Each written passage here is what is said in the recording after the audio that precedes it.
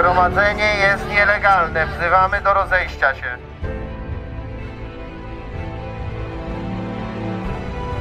Solidarność! Solidarność! Solidarność! Milicja obywatelska. Precz z komuną! Precz z komuną! Wzywamy do rozejścia się.